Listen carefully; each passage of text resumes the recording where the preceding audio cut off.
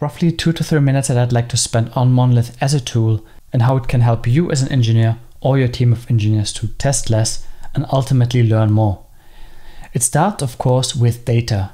You begin with uploading your data to set up a workflow and train as well as test models. You can also store your data in a so-called file manager and directly import and reuse your data for your notebooks. Here you can see the data loader, which takes a plethora of different data formats that we see engineers work with on a day-to-day -day basis.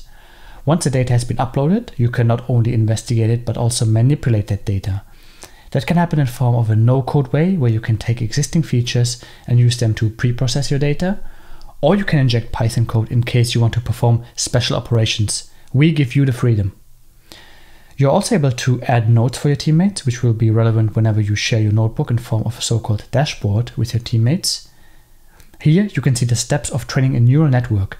We have selected sensible default choices for all these parameters, so you can just press apply and train a model immediately. But again, here we give you the freedom to tweak the parameters in an advanced options setting.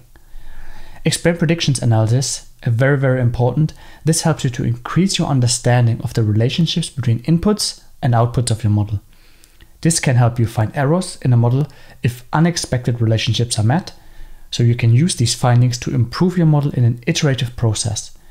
It might also help you to find patterns you weren't even aware of in the first place. Once you completed a notebook, you can create dashboards in order to share the results of the notebook with others in a more elegant, simple, and intuitive manner. To generate a dashboard from a notebook, you simply click on the dial at the top right of the screen. This dashboard functionality makes knowledge much more accessible across departments or even across your entire company or organization, or even your customers.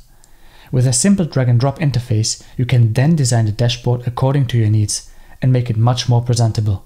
If you would like to adopt AI in your organization and are not sure where to start, feel free to reach out to us. We can work together on a POC if you'd like, and just simply go to monolithai.com, schedule a call with us, and we are more than happy to help you in your AI journey.